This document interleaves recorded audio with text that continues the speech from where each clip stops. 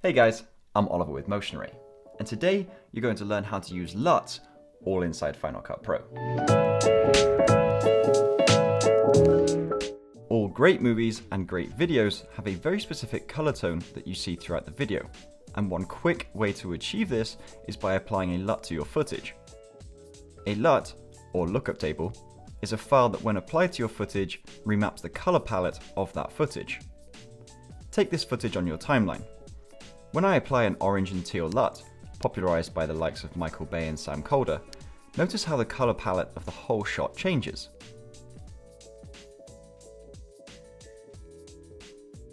So in this video, you're going to learn how to apply your own or third-party LUT and adjust it to match your footage.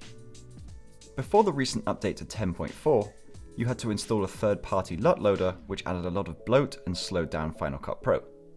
Since that update, Final Cut Pro has added a drag and drop effect so you can apply LUTs seamlessly within Final Cut Pro. To add the custom LUT effect, go to your effects browser or press Command 5 and search for custom LUT. You can also find the custom LUT effect inside of the color folder. Drag and drop the effect onto your footage. From here, you should see the custom LUT effect has been applied and displays in the video inspector. But notice the footage hasn't seen any change. That's because we now need to apply a LUT to our footage. So your next step is to import a new LUT or apply a LUT you've previously added. To import a new LUT, hit the LUT dropdown and choose Custom LUT. From here, select the folder of LUTs or a single LUT you would like to add.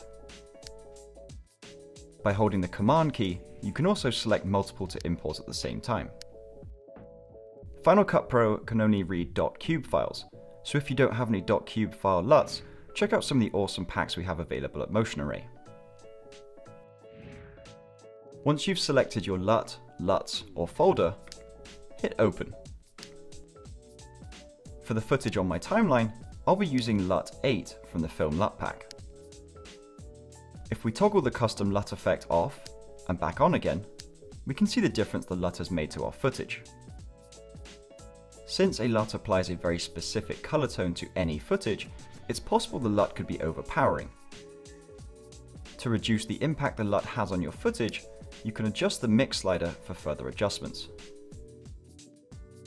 You may want to consider how your footage was shot and how you wish to export, so you can adjust the input and output settings.